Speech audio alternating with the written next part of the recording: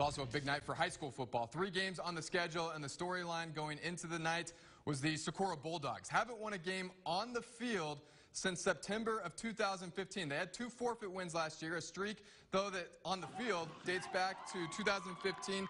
56 losses in a row coming into this game against El Paso High, and it was a big night for Isaiah Aguilar. Check him out. Aguilar gonna zig, and he's gonna zag, and he is gone.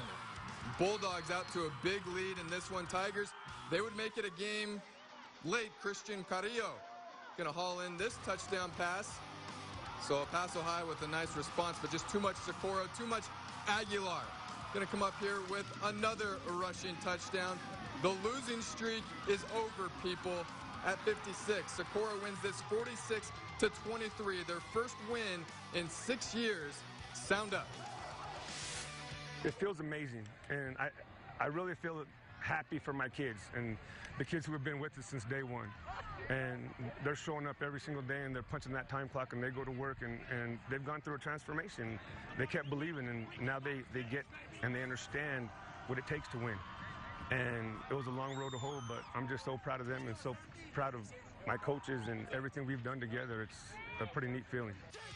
Bulldogs looking to make it two in a row next week. They're going to play at Coronado to open district play, actually two weeks after the bye week. Montwood hosting Burges tonight. First half action. It's that man again.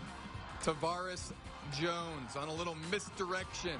Scoots his way into the end zone.